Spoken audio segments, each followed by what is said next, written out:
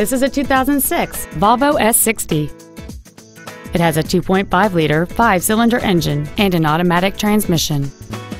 Its top features include memory settings for the driver's seat's positions, so you can recall your favorite position with the push of one button, a power driver's seat, cruise control, a CD player, a leather-wrapped steering wheel, a turbocharger, aluminum wheels, a traction control system, heater vents for rear seat passengers, and this vehicle has fewer than 60,000 miles on the odometer.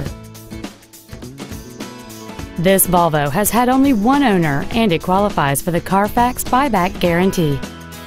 Call or visit us right now and arrange your test drive today.